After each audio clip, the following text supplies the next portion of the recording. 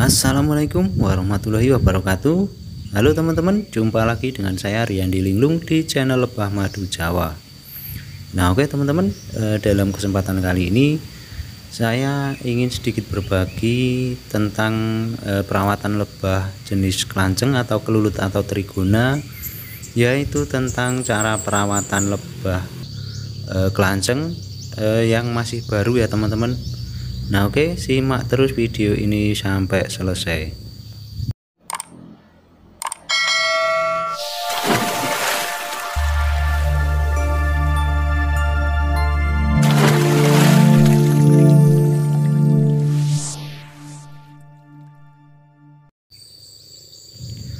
Nah oke teman-teman langsung saja. Jadi singkat cerita beberapa hari yang lalu saya mendapatkan e, koloni jenisnya Itama Nah ini koloni baru atau baru pindahan dari alam ya teman-teman. Dan untuk koloni ini sebenarnya hasil beli dari teman saya jadi teman saya yang berburu. Dan e, untuk koloni ini hasil pindahan dari kayu ya teman-teman. Jadi kayunya itu terlalu besar dan e, tidak bisa dipotong ya untuk kayunya itu. Makanya koloninya dipindah ke kotak ini. Jadi kayunya cuma dilubangin saja dan koloninya dipindah ya teman-teman Nah, di dalam kesempatan kali ini saya ingin uh, sedikit berbagi soal pengalaman saya uh, ketika saya merawat eh, lebah-lebah uh, baru seperti ini, teman-teman. Jadi, kenapa lebah baru seperti ini memerlukan perawatan yang khusus? Karena kalau lebah baru seperti ini jelas saja mereka itu sangat rentan terutama rentan kekurangan cadangan makanan dan sumber resin ya teman-teman. Soalnya ketika lebah ini dipindah ke kota nah itu rata-rata kalau pemburu atau pembulangnya itu belum berpengalaman nah itu tidak dikasih cadangan makanan teman-teman. Tidak dikasih cadangan makanan tidak dikasih e, cadangan resin jadi e, mereka itu sangat rentan kekurangan ya untuk e, cadangan makanannya nektar bipolen dan e, resinnya teman-teman Makanya untuk lebah baru seperti ini eh, sangat membutuhkan eh, perlakuan khusus teman-teman. Jadi kita sebagai pembudidayanya atau sebagai peternaknya itu harus eh, sigap ya teman-teman eh, biar lebah kita tetap berkembang eh, biar tetap berkembang dengan baik dan eh, lebah-lebah kita itu tidak kekurangan sumber pakan atau sumber-sumber yang dibutuhkan oleh lebah-lebah kita ya teman-teman.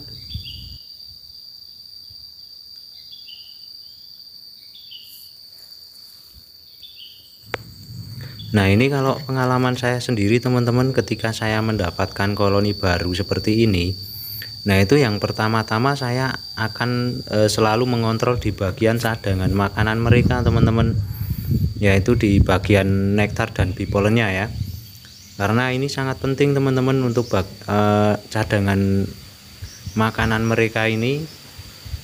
Kalau sampai kekurangan nah itu bisa berbahaya buat koloni kita ya. Bisa-bisa koloni kita itu tidak berkembang.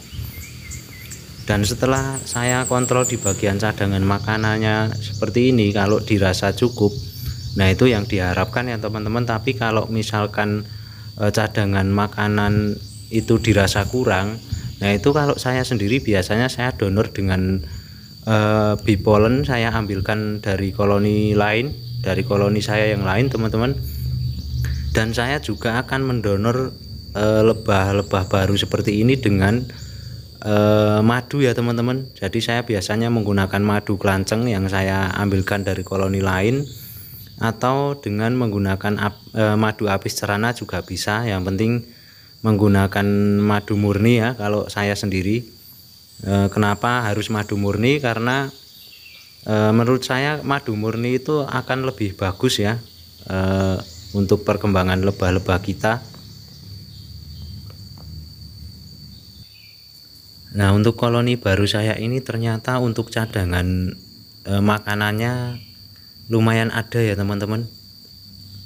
Nah itu untuk pot-pot madunya atau pot bipolennya itu lumayan ada. Jadi e, saya kira ini cukup untuk cadangan makanan mereka ya teman-teman. Nah untuk langkah selanjutnya setelah kita memastikan eh, untuk cadangan makanan mereka itu cukup nah itu biasanya saya memastikan di bagian eh, resinnya teman-teman. Jadi mereka itu kekurangan resin apa enggak sih? Nah nah untuk koloni saya ini eh, kalau menurut saya ini agak kekurangan resin resin teman-teman. Eh, kenapa? Karena kita bisa lihat dari bagian propolisnya ini eh, terlihat agak tebal-tebal dan kayak kaku ya teman-teman. Nah ini menandakan kalau mereka itu agak kekurangan resin teman-teman.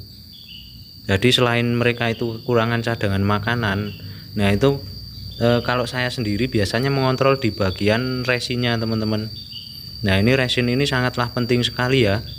Karena ketika lebah-lebah apalagi lebah baru seperti ini kalau kekurangan resin itu nah mereka mudah terserang predator juga teman-teman. Jadi lumayan berbahaya ya kalau mereka sampai kekurangan resin. Nah kalau saya sendiri ketika lebah baru saya itu kekurangan resin nah seperti biasa saya akan mendonor koloni saya dengan uh, getah ya teman-teman. Nah ini seperti biasa saya menggunakan getah bendo atau bisa menggunakan getah-getah yang lain juga. Saya pernah membuat video tentang pendonoran uh, resin ini ya. Nah ini karena koloni saya ini agak kekurangan resin kalau menurut saya ini akan saya donor dengan resin ya walaupun cuma sedikit Nah ini saya sedang melakukan proses pendonoran resin teman-teman. E, dengan harapan e, koloni baru saya ini berkembangnya akan semakin bagus dan tentu saja kalau banyak resin itu koloni mereka itu terjamin dari predator teman-teman. Karena untuk lebah kelanceng atau kelulut atau trigona ini e, alat pertahanan mereka itu cuma dari resin seperti ini teman-teman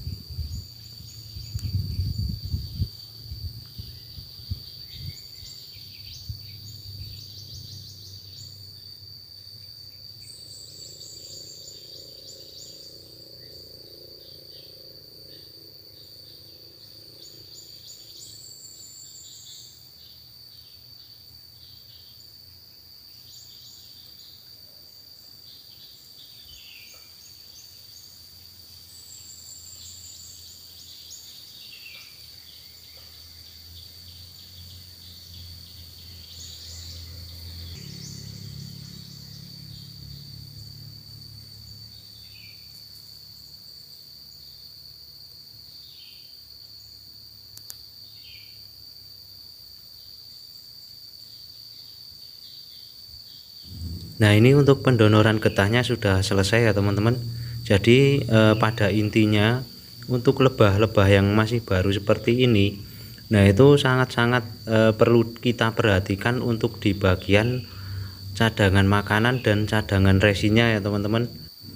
Kalau itu semua tercukupi nah tentu saja untuk lebah kita itu akan sehat dan tentunya akan berkembang dengan baik ya teman-teman Nah oke okay, teman-teman eh, semoga dari video saya tadi memberikan manfaat yang banyak kepada kita semua.